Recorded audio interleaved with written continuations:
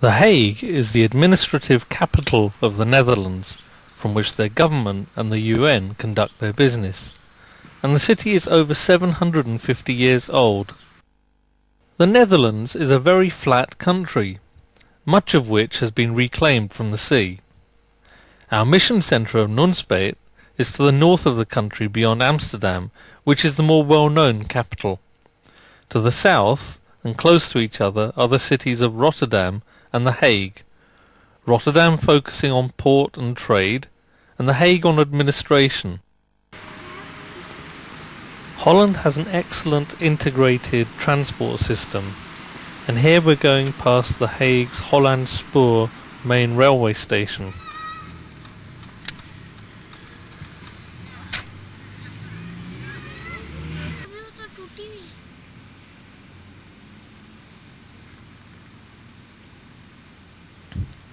One of the features of The Hague, as with many cities on continental Europe, is the tram system for getting around the city. The trams are very clean and punctual, as are the major rail services. If you are new to them, the trams can be unnerving, as they seem to come from all directions and have the right of way, even over drivers.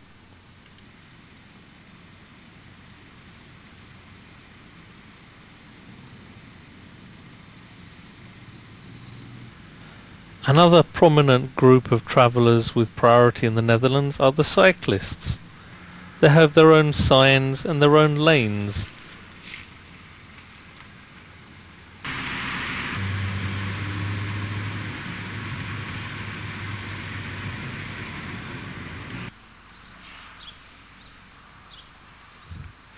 One of the most obvious symbols of the Netherlands are its windmills which have been used for so many years to harness the wind currents flowing over this flat country.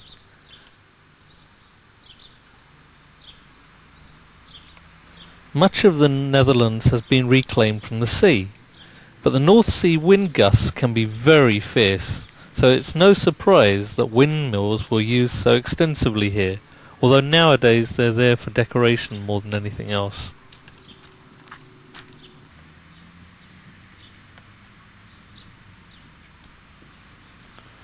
The Hague is often called the greenest city in the Netherlands, and once you've seen the many parks and trees, even in the centre of the city, you'll understand why. The fact that so many Dutch people prefer to cycle than drive also adds to this sense of calm and nature.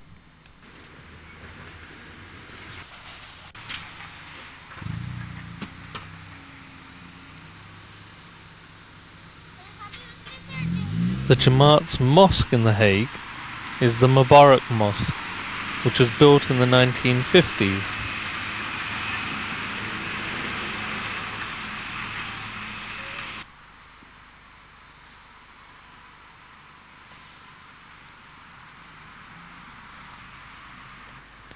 The foundation stone of the Mubarak Mosque was laid in 1953 by the late Chaudhry Zafrullah Khan Sahib.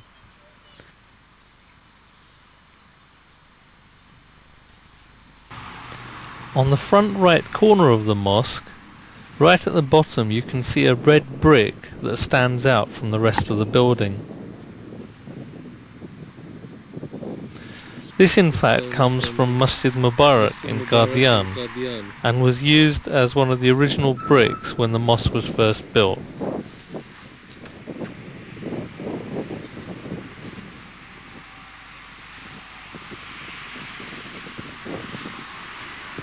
It has been expanded in recent years to enlarge the prayer hall.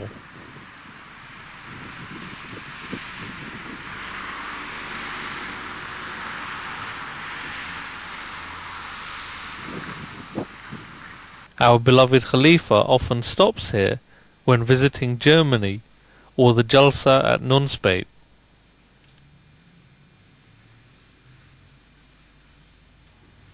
Underneath us are the offices of the Jamaat.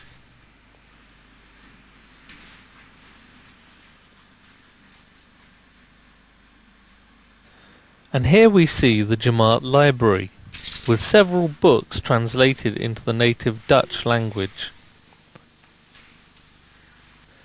Here we see a copy of the Holy Quran in the Braille language used by blind people. In fact, it was here in the Netherlands that the Jamaat first translated the Quran into Braille. Madurodam is a miniature village covering all of the features of the Netherlands.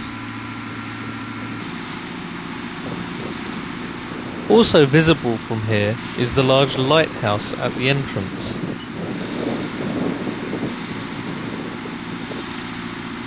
Inside you will find scale models of the major buildings, houses and even aircraft and trains.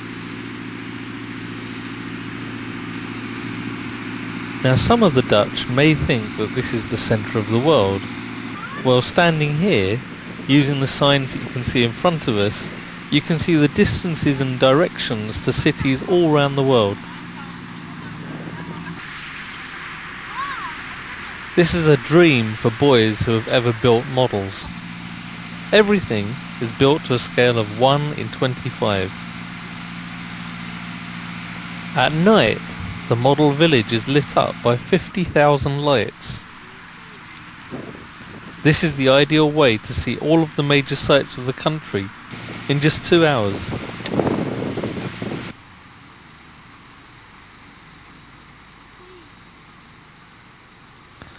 Most viewers will have heard of the International Courts of The Hague, where major UN trials related to genocide are held.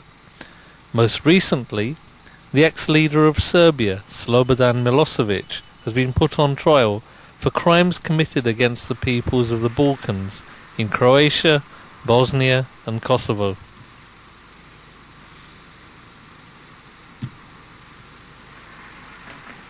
In fact, The Hague hosted the first International Peace Conference in 1899 and since then has hosted the International Court and the future International Criminal Court.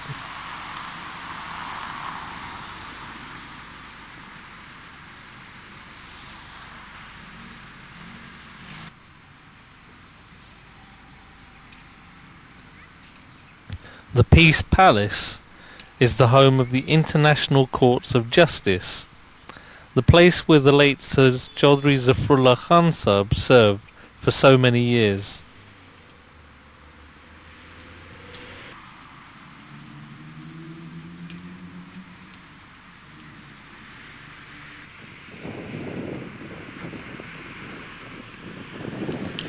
You can take a guided tour of the World Court this is given by students from the nearby Leiden University, the oldest and most prestigious college in the Netherlands.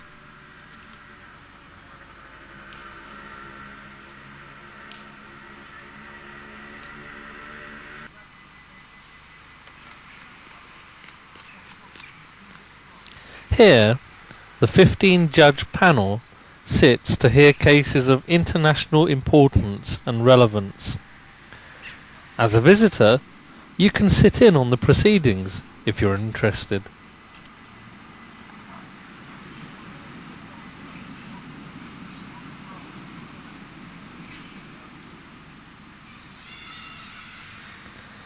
The palace is surrounded by beautifully kept gardens, extending the feeling of calm and peace all around this area.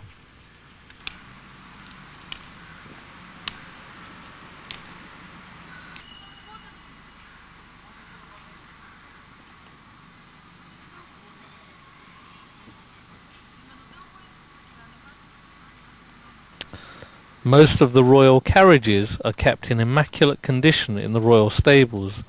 In particular, the golden carriage of the royal family gets its outing every September at the state opening of Parliament.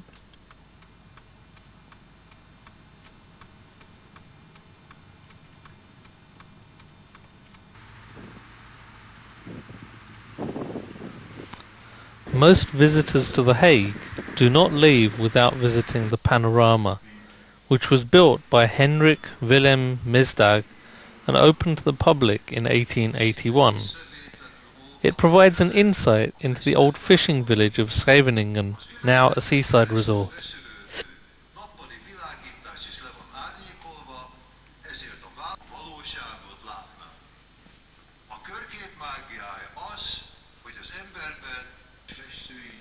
The panorama is a cylindrical painting with unobstructed views in all directions, 360 degrees, and enough of a sense that even if you look up or down, it still seems to make sense. You climb up steps till you reach the deck with a view over the village and the sea in all directions, as if you were standing on a tower at the coast over a hundred years ago.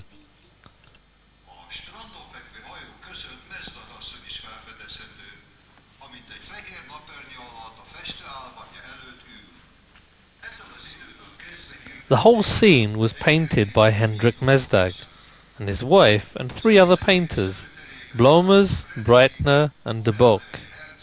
You can see the detail of the beaches, the boats and the people with their period costumes.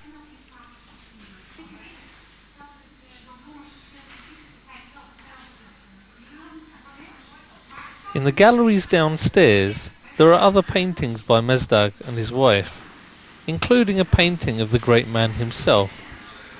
Many people consider this not just to be a work of art, but one of the wonders of the world.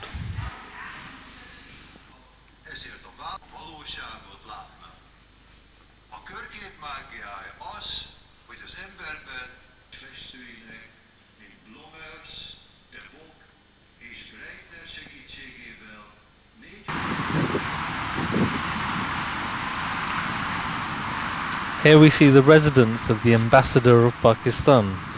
And in fact not far from the panorama are the various embassies in this city.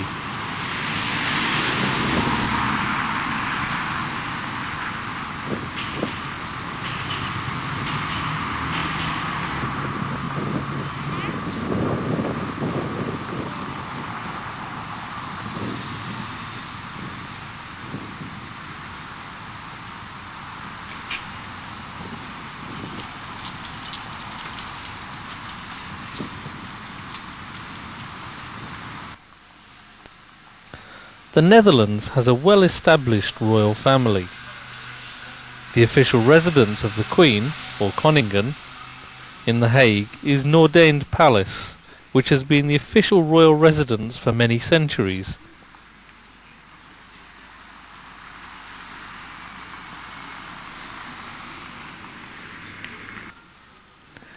It was only after the palace was partly damaged during the Second World War that the building began to be used for other purposes.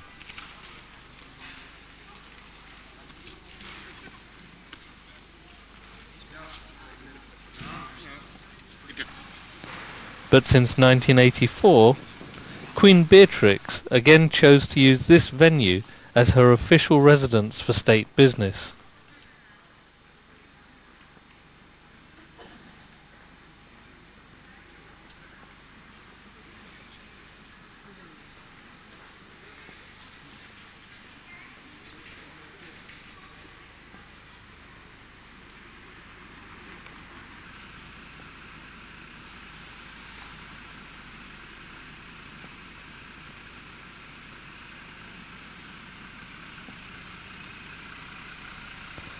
Opposite the palace is a statue with the words in Dutch, Eenzaam maar niet alleen, meaning lonely but not alone. In the modern era, people have less and less time for each other, so this is becoming a very true sentiment for so many people. Lonely but not alone.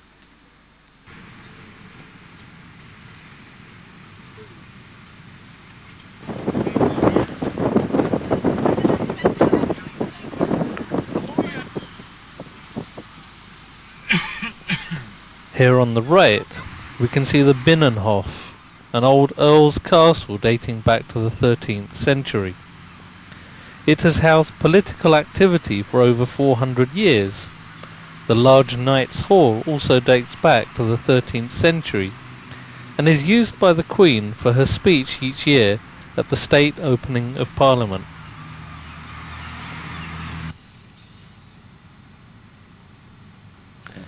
The modern city has many residential quarters built around canals, and so they have developed several innovative types of bridges to allow traffic and boats to coexist.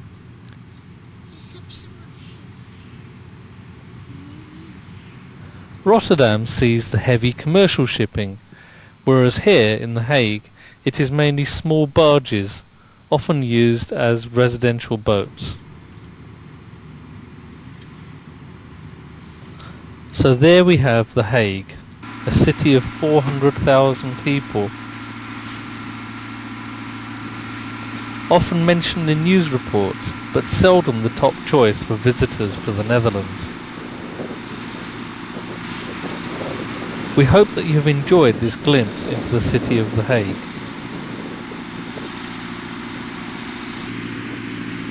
Join us again for travel and history on MTA.